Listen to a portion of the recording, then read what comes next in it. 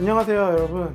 철물박사TV의 철물가이드 메탈팬더입니다 여러분들 집에 다 싱크대는 있을 거고요. 그리고 싱크대에 이렇게 싱크대 수전이 아마 달려 있을 거예요. 그런데 이 싱크대 수전이 이제 오랫동안 쓰다 보면은 뭐 이런저런 문제가 생기기 시작하거든요. 뭐 예를 들면은 뭐 이쪽 헤드에서 물이 조금씩 똑똑 떨어진다든가 그리고 여기 손잡이 레바 여기 이 사이에서 이제 물이 똑똑 떨어지는 경우도 있고요. 그리고 이 아래쪽에 보시면은 호스가 많이 지나가는데 호스 통에서도 이제 물이 졸졸 떨어지는 경우가 있습니다. 그리고 마지막으로 이 손잡이 뭐 딱히 물이 새는 건 아닌데 이 손잡이가 굉장히 뻑뻑해져서 조작을 하기가 어려운 경우도 있거든요. 물론 이런 여러 가지 문제들이 이 싱크대 수전 자체를 통째로 교체를 하시면은 뭐 가장 확실한 방법이 되겠죠. 그런데 싱크대 수전 이 전체를 완전히 교체하는 것 자체는 그렇게 작업이 어려운 작업이 아닌데 이 그 수전을 풀려면은 밑에 쪽에서 이제 너트를 좀 풀어줘야 되는 부분이 있는데 그거를 이제 이 아래쪽에서 이제 하다 보면은 이 공간이 좀 협소하다 보니까 이 물통 이 공간이 좀 잘 안 나거든요. 저 뒤쪽에 손이 안 들어가다 보니까 어 이제 좀 공간이 협소해서 여러분들이 작업을 하시는데 어려움을 많이 겪을 수가 있습니다.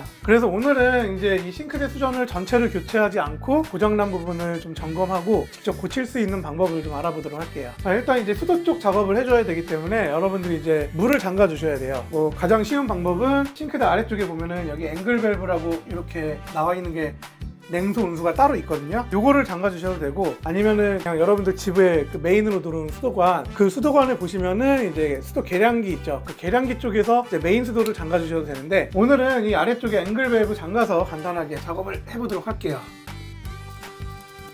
자 이렇게 물을 잠궈 주시고 나서 수전에 있는 부속 중에서 카트리지라는 부속을 여러분들이 보셔야 돼요. 카트리지라는 부속을 보려면 이 손잡이를 떼내셔야 되거든요. 자 손잡이를 뗄 때 손잡이 뒤쪽 방향을 보시면은 이쪽 방향에 여러분들이 구멍이 하나가 있거든요. 여기 이런 구멍이 하나 있는데 여러분들 그냥 보면 안 보이시니까 핸드폰 그 셀카로 바꾸시고 이렇게 대보면은 이 구멍 안쪽이 보이거든요. 그래서 이 안쪽에 십자 나사가 있는지 아니면 육각 나사가 있는지 여러분들이 이걸 확인을 하셔야 돼요. 그리고 가끔 가다가 이 뒤쪽 쪽에 구멍이 없는 경우가 있거든요. 그런 경우에는 이 위쪽을 보시면은 수조를 만든 회사 로고 같은 게 붙어 있는 경우가 있어요. 그 로고를 떼어내시면은 그 아래쪽으로 나사가 보이는 경우도 있으니까 이 뒤쪽이나 아니면 이 위쪽 둘 중에 한 군데를 보시면은 여러분들이 나사를 풀 수가 있을 겁니다 네, 나사를 어느 정도 풀어주셨으면은 이렇게 손잡이가 빠지게 되거든요. 여기 보시면 이제 육각 나사가 있는 게 보이시죠? 네, 요거를 이제 풀어서 이렇게 빼주시면 됩니다. 이렇게 손잡이를 빼시면은 이 부분이 이제 제가 아까 말씀드렸던 카트리지 윗부분이 되겠고요. 카트리지를 빼려면은 여기 있는 이 케이스를 또 분리를 하셔야 돼요. 자, 케이스를 분리할 때는 이렇게 첼라를 사용을 하시면은 조금은 그나마 좀 편하게 이거를 풀으실 수가 있고요. 그냥 하면은 기스가 날 수도 있으니까 여기 기스 나는 게 걱정되시는 분들은 여기 이제 테프론 테이프를 좀 감아서 그 다음에 이제 풀어주시면은 기스 기스가 안 나게 잘 푸실 수가 있을 거예요. 그 다음에 이 안쪽에 보면 금속으로 이 카트리지를 잡아주고 있는 부속이 하나가 더 나오는데 얘까지 풀어주시면 됩니다.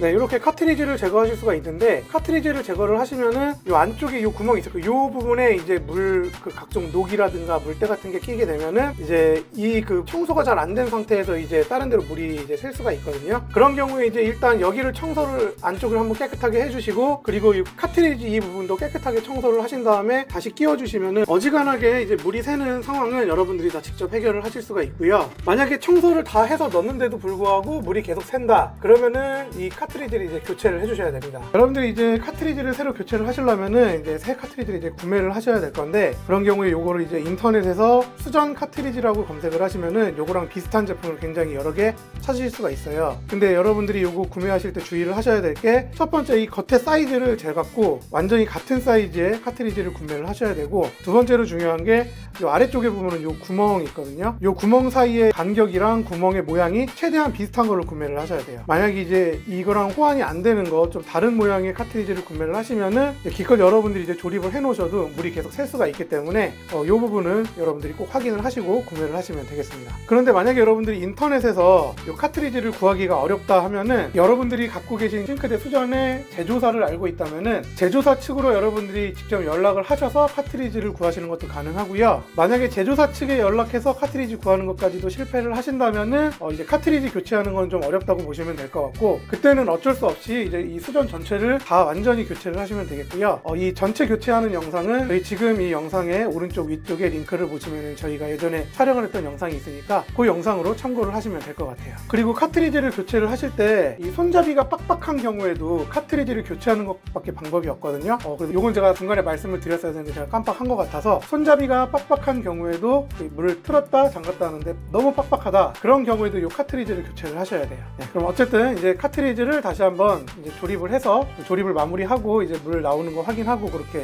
촬영 마무리하도록 하겠습니다. 아 그리고 마지막으로 여러분들 카트리지 구매하실 때 이 구멍 말고 여기 보시면 카트리지에 이 볼록 나온 부분 있거든요. 이 부분도 이제 같은 거리가 떨어져 있는 거, 이 부분에 폭이 있거든요. 이것도 같은 걸로 구매를 해주셔야 돼요. 그래서 끼우실 때도 이 안쪽에 보면 하우징 안에 이 호응 부분이 들어가는 부분이 딱 있어요. 걸쳐지는 부분이 거기에 맞춰서 네, 끼워 주시면은 네 위치에 맞게 잘 들어갔고요. 자, 지금부터 역순으로 이제 조립을 해주시면 돼요. 여기에다가 아까 전에 이 카트리지 고정했던 금속 하우징을 넣어서 조여주시고요.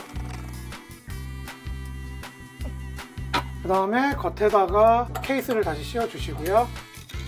그 다음에 손잡이를 다시 꽂아주시고 그 다음에 처음 말씀드렸던 육각 머리에 그 나사를 다시 조여주시면은 네, 조립이 다시 완료가 되겠습니다.